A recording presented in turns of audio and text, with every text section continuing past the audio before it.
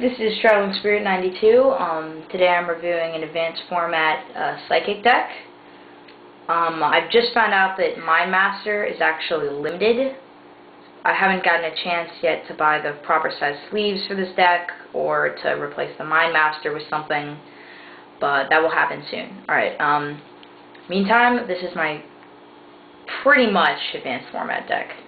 Okay, one Armored Axon Kicker, two Dr. Craniums, Genetic Woman, two Grapple Blockers, three Krebons, one Life Force Harmonizer, three Master Gigs, two Mind Masters. Again, I haven't replaced the second with something else since it is advanced format.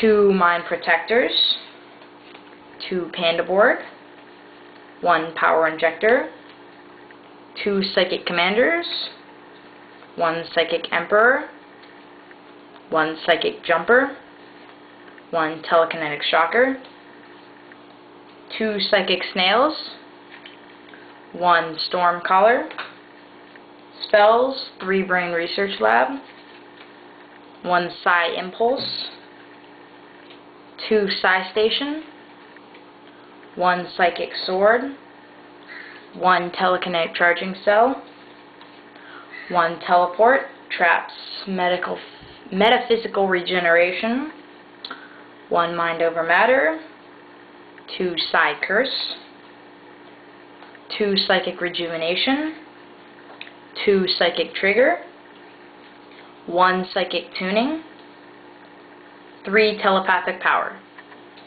Okay, um, that's the main deck. Uh, here's the extra deck.